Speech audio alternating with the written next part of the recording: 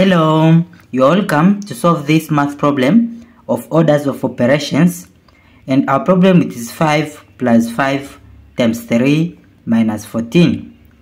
From this problem, let's solve it by using BODMAS rule. So from the rule which is BODMAS,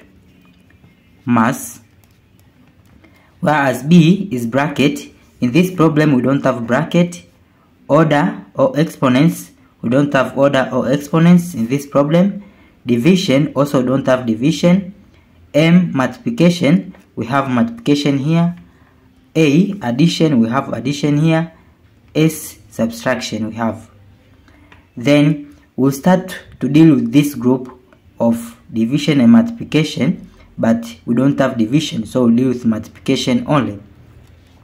So in here we have multiplication of 5 times 3 which is 15 so it will be 5 then plus this time this is 15 then minus 14 then after I deal with this multiplication we deal with this group of addition and subtraction according to which starts first from left to right.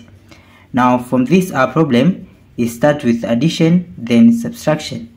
So we'll deal with this addition of 5 plus 15 is 20 so it will be 20 then minus 14 is equal to 20 minus 14 it is 6 therefore this 6 is our final answer. Thank you for watching. Don't forget these steps to miss out. Subscribe to my channel and see you in the next video. Bye bye